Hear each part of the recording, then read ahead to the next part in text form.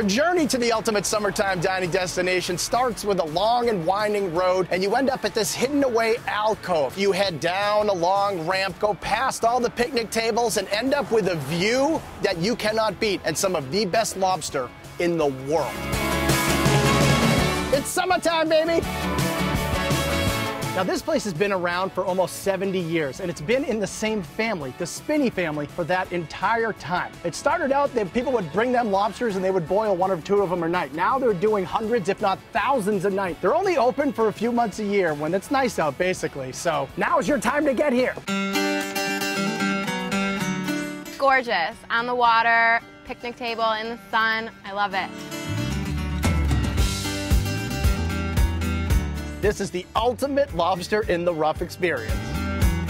They call it lobster in the rough, which means you're going to be eating at picnic tables. They have dozens of them out here. They're all numbered, they're all painted different colors, they're all different sizes. This is casual, and yet the food is insanely good.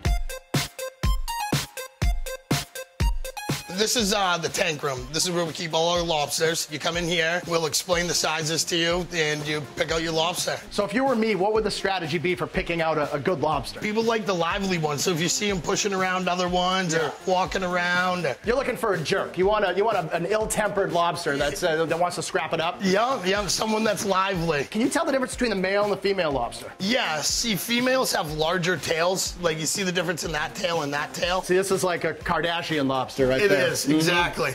and males generally have bigger claws. Female, big tail, male, big claws. Big claws. Kardashian and Hugh Jackman. All right, so let's do a two and a half pounder, some corn, coleslaw, onion rings, steamers, mussels, and a lobster roll. Yes, I'm just dining for one. Nobody rocks a lobster bib like I rock a lobster bib. Everybody knows the best lobsters in the world come from Maine, so of course they only use Maine lobster here. And in fact, they only use Maine hard shell lobster. That means you get more meat per lobster. Now you gotta work a little harder to get it. There's a lot more cracking, but it is well worth the effort, trust me. I like to go for the tail first. You ready for this? Oh my lord. We like to call this the lobster badonka-donk. That's the claw, baby. I can't wait any longer. I gotta eat this. the perfect day, dunked in melted butter. If you want all that delicious lobster without the mess, you get the lobster roll. And they do it unique here at Chauncey Creek inside a hamburger roll, not the traditional New England split top hot dog bun. Why a hamburger bun? I have absolutely no idea, but I can tell you this much I don't care, because it's awesome. Now you know why people come here from all over the world for this bite right here.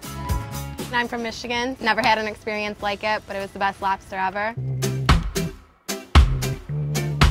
Now, some people might not even realize it, but there are other things on the menu besides just lobster. I mean, check out these mussels. It's a huge portion of them. They come from Prince Edward Island. That is the mussel capital of the world, packed with garlic, packed with white wine, and packed with flavor. To me, onion rings are always essential when you're eating summertime seafood, and these are good ones. Good inside to outside ratio, sweet onion, and the batter, crispy, puffy, a little bit like a donut clam chowder. This is classic New England style clam chowder, which means plenty of chopped clams, little bit of potato, not too rich, not too thick, but not too thin either.